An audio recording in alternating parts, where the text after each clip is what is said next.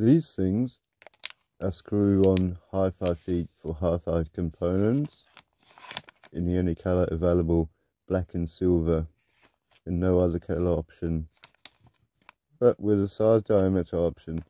These are from Jaycar. The smaller ones have a diameter of 30 mil, and the bigger ones a diameter of 50 mil. No screws included. You can replace lost, broken feet, or just jazz up your amp or your tuner and cassette deck with these.